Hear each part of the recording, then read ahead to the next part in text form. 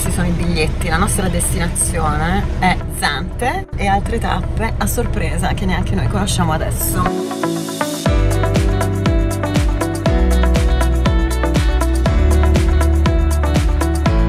Stiamo entrando nella nave.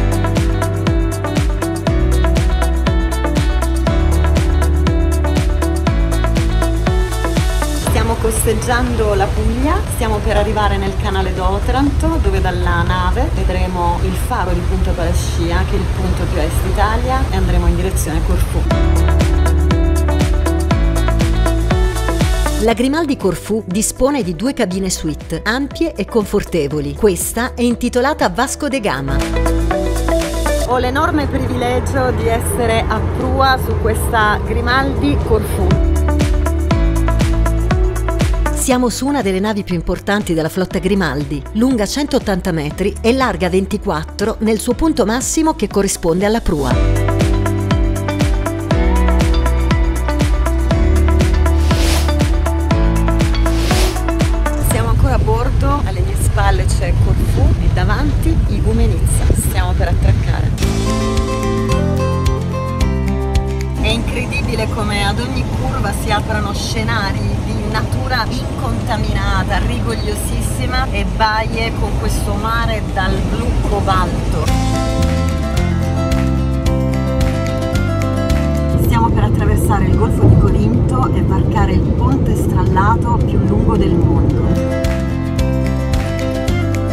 Il ponte Rion-Antirion attraversa il Golfo di Corinto tra le città di Rion nel Peloponneso e Antirion nella Grecia continentale. Con la sua lunghezza di 2883 metri rappresenta il ponte strallato più lungo del mondo. Si regge su soli quattro piloni e dal piano stradale si domina il panorama a 60 metri sul livello del mare. La sua costruzione ha ridotto a 5 minuti il tempo per passare da una riva all'altra, contro i 45 minuti impiegati con il traghetto. Ed è proprio per la sua imponenza che questo ponte è soprannominato il ponte di Poseidone.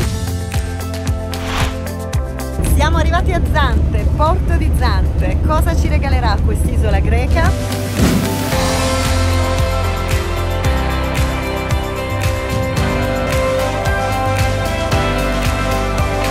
In questi giorni di viaggio a Zante sono ospite del Galaxy Hotel Beach Resort, un 5 stelle situato sulla baia di Laganas, la località più turistica di Zante, dove si stende la spiaggia più bella e più estesa del versante ionico dell'isola. L'hotel offre una vista panoramica magnifica e l'ho scelto come base ideale per i miei itinerari alla scoperta dell'isola. Il Galaxy Hotel Beach Resort è circondato da giardini rigogliosi e curatissimi, che conducono alla spiaggia sabbiosa e a un mare cristallino.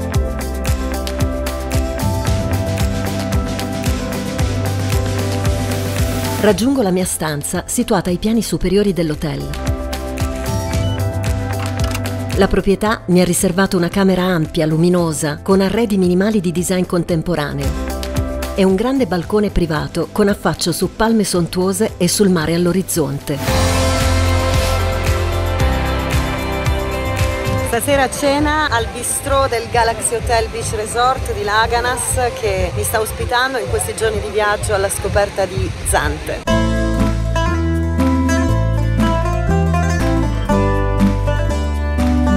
Yamas. A Zante si sta in pura vita! Ciao Sabrina! Buon vento! Ci stiamo imbarcando con Traventure Travel stiamo partendo dal molo di fronte all'isola detta Cameo e accanto abbiamo la famosa tartaruga marina nell'acqua.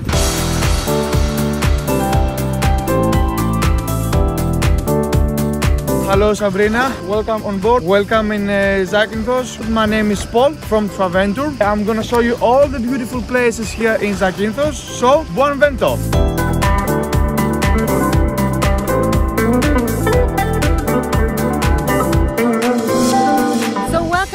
Marathonese Island, also famous as Turtle Island. Quest'isola ha varie caratteristiche, la più importante è quella di avere la forma di una tartaruga con la testa da un lato e il corpo, il carapace dall'altro. E poi c'è un'altra caratteristica, quest'isola è il sito di nidificazione prediletto dalle tartarughe caretta caretta. Le gabbiette di legno colorate indicano proprio i siti dove le tartarughe caretta caretta hanno deposto le uova e sicuramente deve essere uno spettacolo incredibile assistere alla schiusa di questi gusci e alla discesa in acqua di queste magnifiche tartarughe. Da Maratonisi, che ogni abitante di Zante conosce come Turtle Island, salpiamo in direzione sud-ovest di Zante, diretti verso le grotte di Keri, che prendono il nome dalla penisola su cui si aprono, famose anche come Kerry Caves.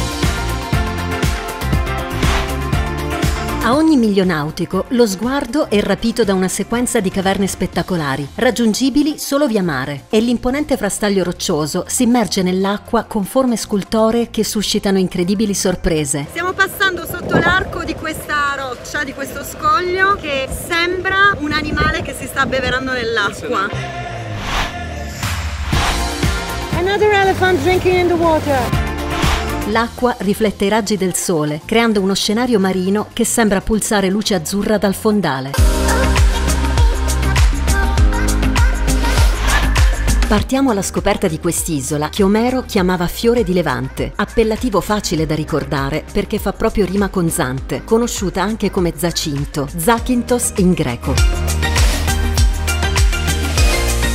Raggiungiamo la sua capitale, che prende il nome dall'isola. Vista dall'alto, la città si apre a mezzaluna sul suo porto, sovrastata da montagne e colline, coi sentieri inerpicati tra le alture verdeggianti. Il panorama che domina la baia è impressionante e destinato a rimanere nei ricordi per sempre.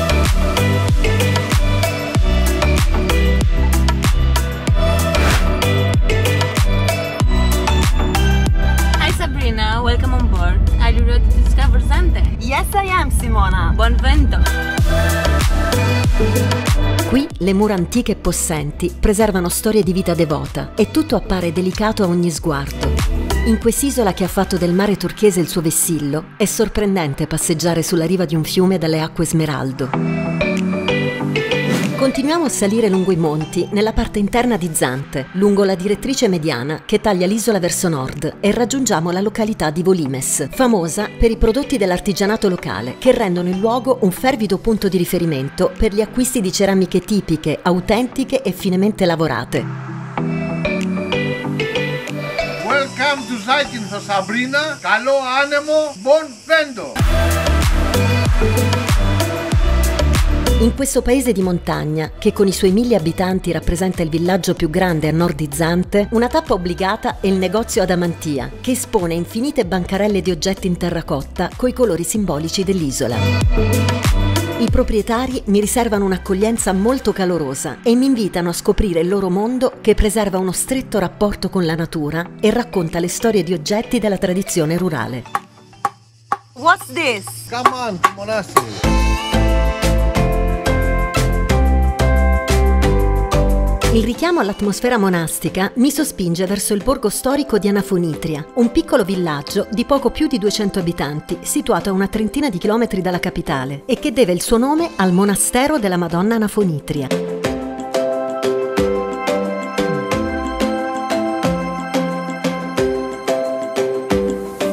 Questo monumento storico del XV secolo è uno degli otto monasteri di Zante rimasti in piedi dopo il terremoto del 1953 ed è particolarmente caro agli abitanti perché qui San Dionisio, patrono dell'isola, si rifugiò e trascorse gli ultimi anni della sua vita donando le sue rilevanti ricchezze ai poveri. Questo luogo trasuda storia da ogni pietra e rievoca il momento in cui il santo perdonò l'assassino di suo fratello dopo averlo confessato e lo protesse dalla cattura delle guardie e persino dall'ira della sua famiglia aiutandolo a fuggire da Zante.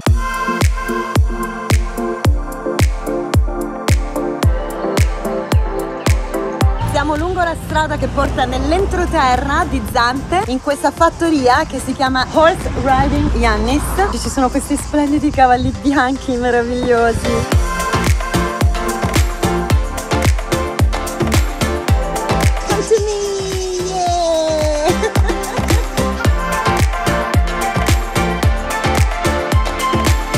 Trying all these oils to keep away mosquitoes. Aloe vera oil.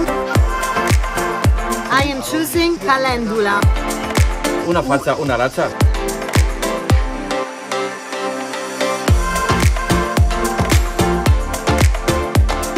Tourist informations or just come in and meet the locals. Informazioni turistiche. Oppure entra e incontra gli abitanti del posto che ti guideranno alla scoperta di Zante.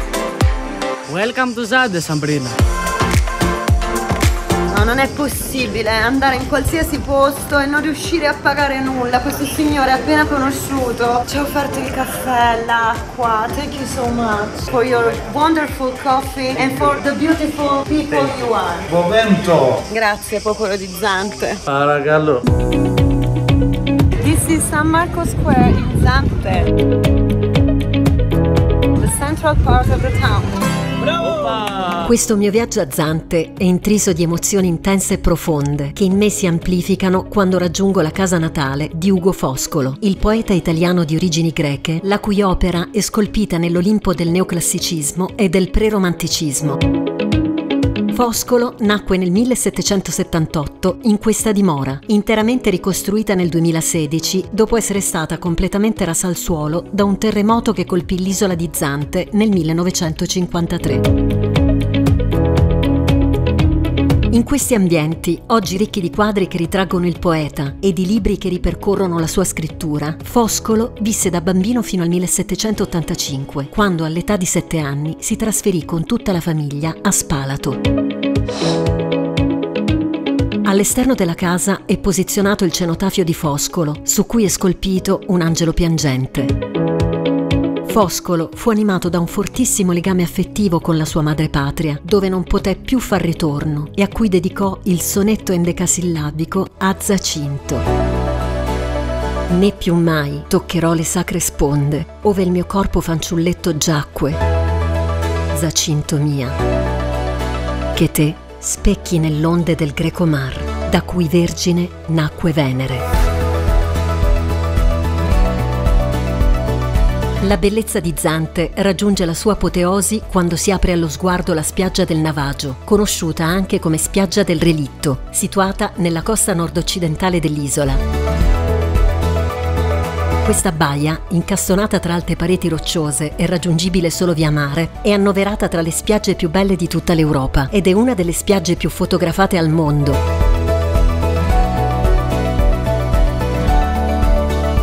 Questo relitto giace su questa spiaggia dall'ottobre del 1980. Il luogo deve la sua fama al relitto di un cargo utilizzato dai contrabbandieri salpati dalle coste turche con un carico di sigarette destinate alla vendita sul mercato nero. Questo cargo fu inseguito dalla guardia costiera greca e l'equipaggio fu tallonato. L'equipaggio decise di nascondersi in questa baia, approfittando sia delle condizioni meteorologiche avverse che delle luci della notte. Ma accade qualcosa di incredibile. La mattina seguente la nave si era arenata in una secca di quel fondale e in breve tempo la risacca creata dal relitto, accumulando materiale sabbioso, creò una spiaggia bianchissima costituita da milioni di ciottoli, sassolini e sabbia bianca. Quando la barca si incagliò nelle acque di questa rada non c'era sabbia e il mare arrivava fino al limite, fino alla scogliera. A causa della permanenza di questa barca in queste acque, la risacca creò improvvisamente e sorprendentemente la spiaggetta. Così la nave si posò sull'arenile creato. Vivo questa scoperta come un segno di Poseidone, dio del mare, che nella terra dei miti infiniti ferma il male e lo trasforma in un'altra meraviglia della natura. La presenza di alcune sorgenti termali sulfuree e il mare molto profondo, già a pochi metri dalla riva, conferiscono all'acqua un colore unico che spazia dall'azzurro chiaro al blu elettrico intenso.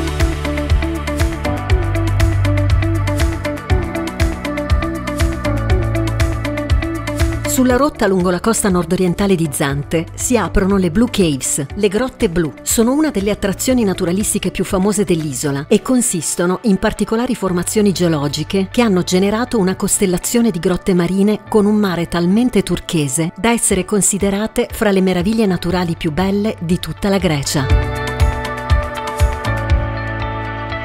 È davvero impressionante osservare la trasparenza dell'acqua e questi fasci di blu elettrico che sono esaltati dalla penetrazione dei raggi solari all'interno dell'oscurità della grotta e danno proprio l'idea della fluorescenza di queste acque.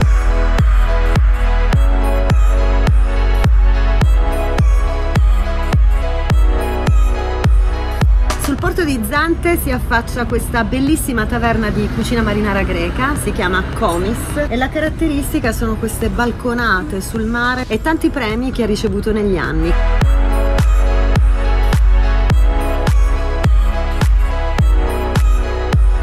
E in quest'isola succedono cose pazzesche, cose strane. Si inanellano una serie di incontri, di eventi. Può trovarsi proprio a cena ospiti del proprietario, che si chiama Yannis, di questo ristorante che risulta essere il più prestigioso il più importante qui a Zante. La triglia sfilettata di Comis resterà tra i miei piatti preferiti per sempre.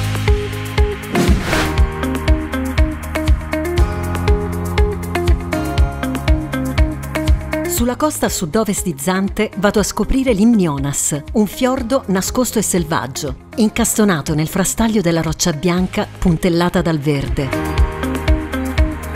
Questa insenatura è una meta obbligata di ogni viaggio alla scoperta di Zante. L'impatto col paesaggio è mozzafiato. Qui il mare mi sembra un sentiero smeraldo verso il bello del mondo. Raggiungo la balconata su un paesaggio marino placido e immenso, solcato dalle scie spumose delle barche e in questo luogo distensivo mi siedo ad aspettare il momento più intenso, quando il sole sprofonda nel mare e la luna sorge dalle brulle scogliere.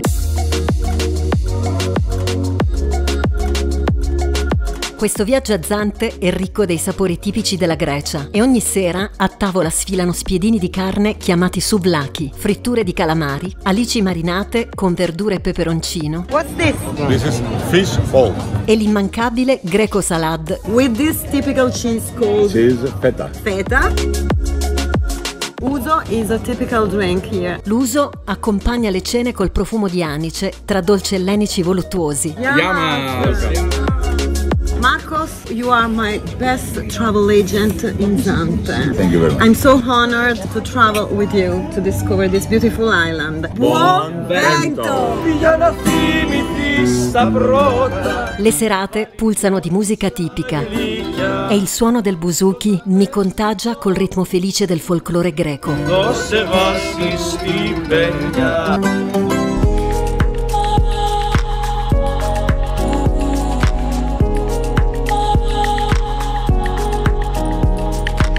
Arrivati a Damianos Cave o Damianos Restaurant, una delle tappe fondamentali da vivere a Zante, sia per l'esperienza gastronomica che per quella paesaggistica, perché da questo punto dell'isola si ammira il tramonto più bello sull'isola di Zante.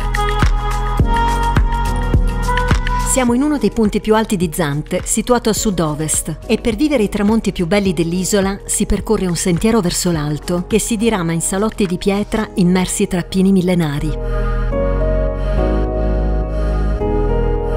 Dai terrazzi di legno si raggiunge il panorama sul Mar Ionio.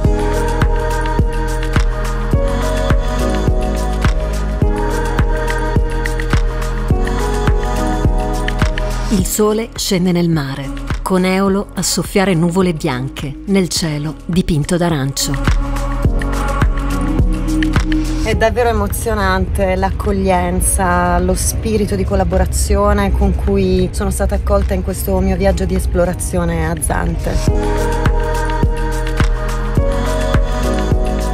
La generosità, la voglia di trasfondere in una persona come me che viaggia e che sta scoprendo quest'isola tutto il meglio che quest'isola possa offrire. Grazie Zante, grazie popolo di Zante.